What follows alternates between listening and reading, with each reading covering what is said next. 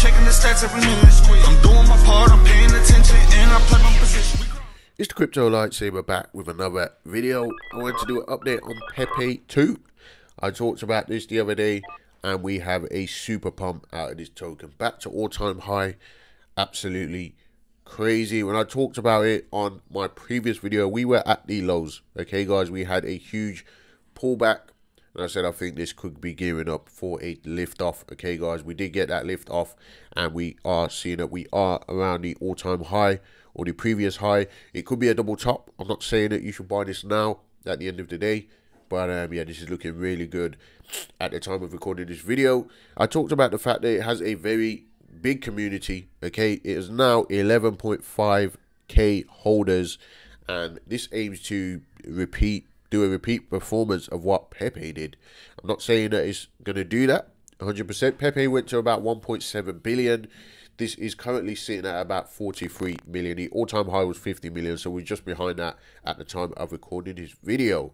On my previous video, I did get a few comments saying this isn't going to a billion. For example, we have uh, someone, uh, where is it? There's someone said uh, 2.0 coins never work ever. Well, this guy is wrong. This 2.0 coin, uh, this 2.0 coin is working, and that's clear by the chart. Uh, this guy said this is a dead narrative. It's not going to billion. It's not going to a billion. Neither is refund an RFD token most likely. We don't know that. How do you know? Okay, how do you know? You don't know unless you obviously only time will tell, right? And this guy said dead, uh, dead. People should have sold the top. I think it's over when it's 3.0. Ha ha ha. Okay, guys. Now that is right. People should have sold the top. That is right. Okay, guys. But um, ultimately, we're not talking about whether you should be selling the top. We're talking about whether you should be buying the bottom. Okay, so in my previous video, I was talking about buying the bottom. Okay, guys. And what do we have? We have a nice pump on this project. It's clearly not dead. All right, guys, and that is looking really good. Trending hot number one. And there are rumors of a KuCoin potential listing. Okay, guys. So what we have here is we have a um, we have a uh, it's, it's a it's an announcement from the team. Okay, um, it says something about 3,000 users signing up to KuCoin and voting on this token. We have until July 10th. So there could possibly be a KuCoin listing. The community is 10, 11,000 holders. So, you know, 3,000 people, if they did that, that could be a potential KuCoin listing.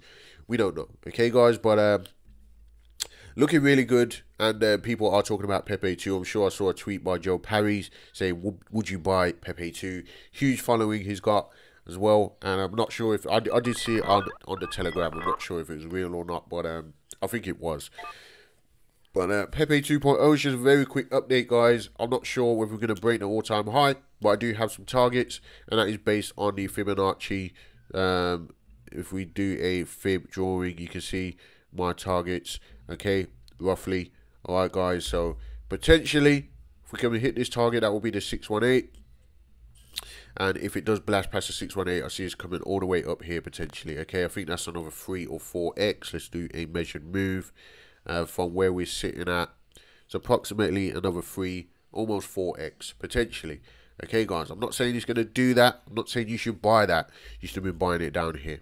Okay, guys, but I just wanted to give you that update. Let me know what you think in the comments, guys. Do me a favor and subscribe to the channel. Tick the little bell for notifications. And I will see you in the next video.